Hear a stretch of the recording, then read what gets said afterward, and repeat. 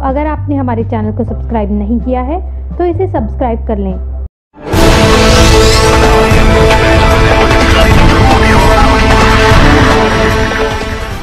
तो जो अपना देश ਇਹ ਭਾਰਤ ਦੇਸ਼ ਹੈ ਇਸ ਦੇ ਵਿੱਚ 99%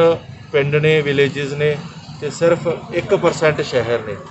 ਔਰ ਉਹ 99% ਆਬਾਦੀ ਜਾਂ ਲੋਕ ਖੇਤੀਬਾੜੀ ਤੇ ਰੋਜੀ ਰੋਟੀ ਤੇ ਇਸੇ ਸਾਧਨ ਤੇ ਡਿਪੈਂਡ ਕਰਦੇ ਨੇ ਤਾਂ ਇਸ ਕਰਕੇ ਇਹ ਆਰਡੀਨੈਂਸ ਲਿਆ ਕੇ ਜੋ ਸਰਕਾਰ ਨੇ ਕੀਤਾ ਹੈ,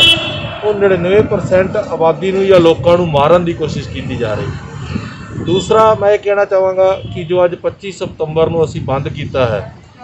ਅਸੀਂ ਤੁਹਾਡੇ ਨਾਲ ਹੈ ਕਿਸਾਨ ਭਰਾਵੋ। ਜੇ ਸਾਨੂੰ 25 ਸਤੰਬਰ ਤੋਂ ਲੈ ਕੇ 25 ਅਕਤੂਬਰ ਤੱਕ ਜਾਂ 2 ਮਹੀਨੇ ਜਾਂ 6 ਮਹੀਨੇ ਵੀ ਬੰਦ ਕਰਨਾ ਪਿਆ, ਤਾਂ ਸਾਨੂੰ ਉਸ ਦੇ ਵਿੱਚ ਕੋਈ ਇਤਰਾਜ਼ ਨਹੀਂ ਹੈ। ਅਸੀਂ ਬਿਲਕੁਲ ਐਂਡ ਤੱਕ ਤੁਹਾਡੇ ਨਾਲ ਰਵਾਂਗੇ। ਤੀਸਰੀ ਗੱਲ ਮੈਂ ਇੱਥੇ ਕਹਿਣਾ ਚਾਹਾਂਗਾ ਕਿ ਕਿਸਾਨ ਇਹ ਸਰਕਾਰ ਦੀ ਐਡੀ ਬੇਸ਼ਰਮੀ ਹੈ, ਐਡੀ ਮਾੜੀ ਹਰਕਤ ਹੈ ਕਿ ਇਹਨਾਂ ਨੇ ਕਿਸਾਨ ਆਤਮ ਹੱਤਿਆ ਦਾ ਡਾਟਾ ਦੇਣ ਤੋਂ ਇਨਕਾਰ ਕਰ ਦਿੱਤਾ ਹੈ। ਔਰ ਕਿਸਾਨ ਆਤਮ ਹੱਤਿਆ ਦਾ ਡਾਟਾ ਕਿਤੋਂ ਵੀ ਹੁਣ ਤੁਸੀਂ ਲੈ ਨਹੀਂ ਸਕਦੇ,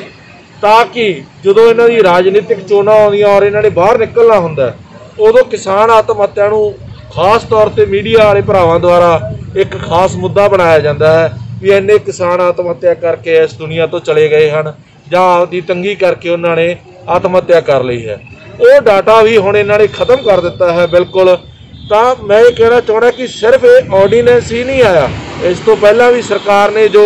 ਇੱਥੇ ਸੀਏ ਜਾਂ ਐਨਆਰਸੀ ਜਾਂ ਹੋਰ ਚੀਜ਼ਾਂ ਲਿਆਉਣ ਦੀ ਕੋਸ਼ਿਸ਼ ਕੀਤੀ ਹੈ, ਇਹਨਾਂ ਦੀ ਇੱਕ ਤਾਨਾਸ਼ਾਹੀ ਰਵਈਆ ਹੈ। ਬਿਲਕੁਲ ਜਿਸ ਤਰ੍ਹਾਂ ਹਿਟਲਰ ਰਾਜ ਦੇ ਵਿੱਚ ਇੱਕ ਸੰਪਰਦਾਇਕਤਾ ਵਿਖਾਈ ਜਾਂਦੀ ਸੀ ਵੀ ਜੋ ਸਾਡਾ ਜੀ ਕਰੂ ਅਸੀਂ ਉਹ ਕਰਾਂਗੇ ਪਰ ਇਹ ਲੋਕ ਰਾਜ ਹੈ ਜੀ ਇਹ ਸਰਕਾਰਾਂ ਆਉਂਦੀਆਂ ਜਾਂਦੀਆਂ ਰਹਿੰਦੀਆਂ ਨੇ ਇਹ ਕਿਸਾਨ ਹਮੇਸ਼ਾ ਹੀ ਰਹੇ ਹੈ ਹਮੇਸ਼ਾ ਹੀ ਰਹਿਣਗੇ ਤੇ ਸਾਡਾ ਸਾਥ ਇਹਨਾਂ ਦੇ ਨਾਲ ਹਮੇਸ਼ਾ ਹੀ ਰਹੇਗਾ ਬਹੁਤ ਬਹੁਤ ਧੰਨਵਾਦ अगर आपने हमारे चैनल को सब्सक्राइब नहीं किया है तो इसे सब्सक्राइब कर लें